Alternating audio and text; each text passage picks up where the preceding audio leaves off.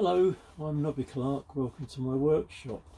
Um, I'm just doing this as partly as a quick introduction to my regular video, uh, which follows this.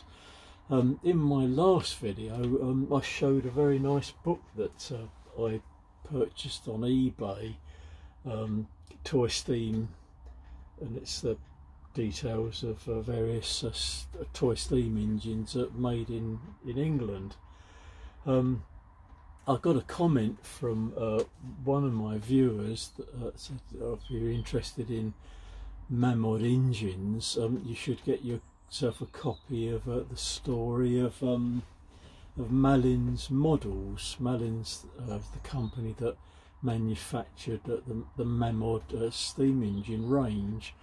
Um, I did uh, take a look on uh, eBay and Amazon and everywhere else, but it was actually a very expensive book and it's sort of a bit more than really I, would comfortably want to, to spend on a book. Um, but uh, since then, uh, another uh, viewer of my channel and a subscriber to my channel very kindly bought me a copy of it, which is sent to me um, saying it's an early Christmas present for you.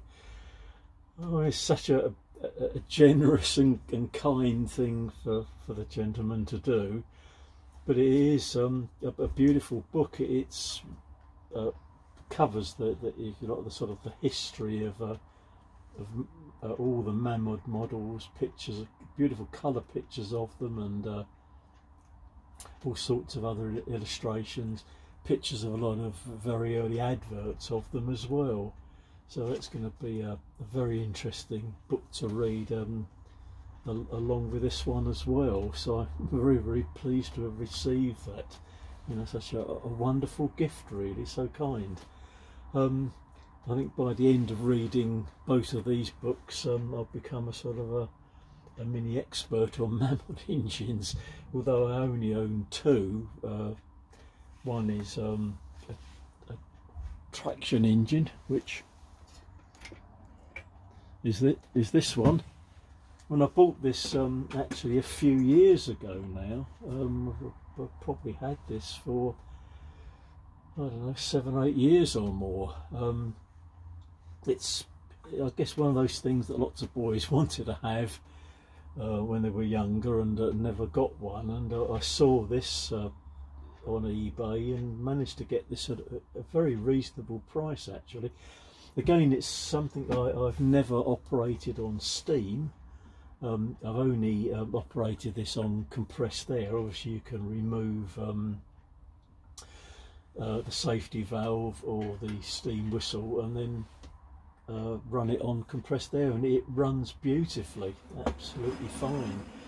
It's not in mint condition, but it is in quite nice condition actually. Um, it's uh, it has got probably on here uh, the, steel part which isn't protected by paint probably um, a little bit more rust which I have cleaned off because for a long time I had this in the workshop with me. It was over near the the window of my workshop but when I noticed it noticed it was picking up a bit of uh, a rusting um, I cleaned it up and, and, took it back indoors again which uh, I will do now and keep it indoors. Well anyway there's just something extra I wanted to to add um, just prior to um, my regular video uh, which comes up next.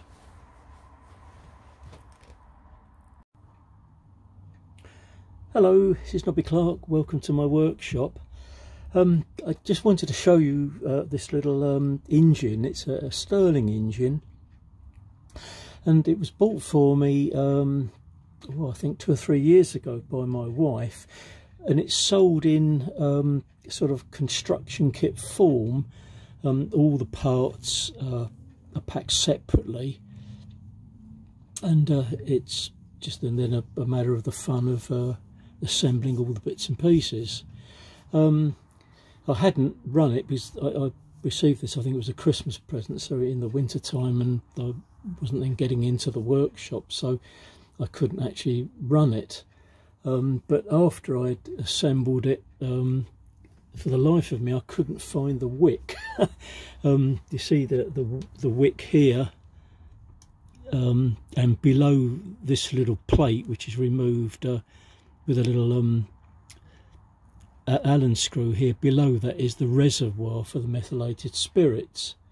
Um, I just recently I had a look on eBay and uh, I couldn't find uh, any wicks of, of, the right size but obviously I was searching completely the wrong thing. Um, I eventually found uh, some wick material. Oh, this here. Um, which is actually sold as oil lamp wick. Obviously I was looking for completely the wrong thing. Um, prior to this, I did get this actually running uh, at one point using one of these very, very small um, little gas burners that you can use to, to light the uh, your kitchen oven or light cigarettes or whatever you want to do with it. And I've used this to light the, the wick itself. Um, so we'll see if I can get it running. If it's, oh yeah, there we are. Obviously it's heated up enough now to to run it and I've used uh, I've used the sort of testing it before I use a pair of pliers here just to, to raise the height of the wick to raise the um, the flame height. Under the, under the reservoir here it's um, very tiny uh, area to put the methylated spirits so it doesn't run actually for very long. Sort of long enough just to uh, for the amusement of seeing it running really. But I, I, just thought I'd share that, that with you. It's a super little engine, um, and when I'd seen them um, on, on YouTube before, various people that have bought these, that they're manufactured in China. They, this came from a UK seller, and people that had shown them running, and people showed them uh, the stages of assembling them as well. Uh, very, very easy uh, to put together. There were one or two parts that were a little bit fiddly to fit together, but uh, at the end of the day, it's, it's really nice. Runs uh, very, very well indeed, I think. Uh, something a bit different to anything else uh, I've, I've, shown on, on my channel, but I thought I'd you know, just like to share this with you really. Quite excited to have this running properly. Um, I'm obviously I'm, I'm, in the workshop now and I have put the um, the engine on a, a, piece of steel here. I don't think it actually transmits very much heat through the base anyway, so it's it, I don't think it's going to be a problem. But uh, always take every uh, safety precaution in the workshop uh, at all times. It seems to be running a little bit slower now, so perhaps the flame is... Oh no, no, it's, it is about the same, I think. Let's stop it and see if I can get it restarted again.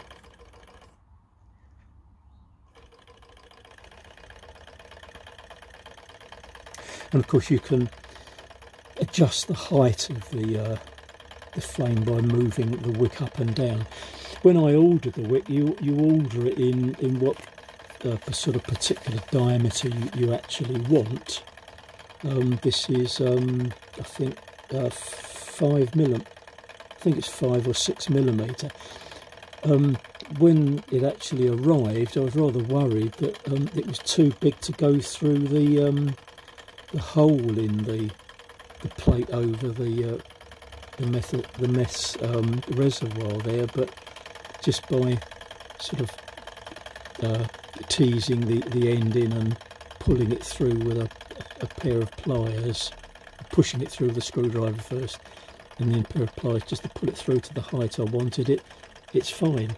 I know it's rather a lot of wick there, it's probably, um, if it's just for this machine, probably a lifetime supply actually, but um, perhaps you know may in the future be something else the, the wick could be used for. Anyway, I hope you enjoyed that. Um, yeah, thanks again for joining me, and uh, thanks again, obviously, to all the uh, the commenters uh, on my channel as well, comments to the channel. Uh, lots of, very interesting uh, information being passed to me as well. And it's nice also that the subscribers to my channel are, are growing quite nicely, quite steadily now, which it is very, very pleasing for me to see, really. Um,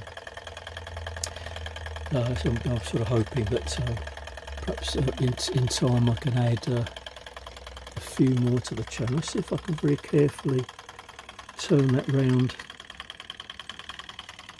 to the other side. I'll give you a look from that side as well. There we go.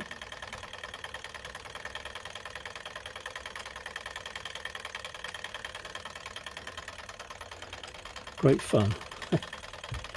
anyway, thanks very, very much indeed for joining me and bye-bye for now.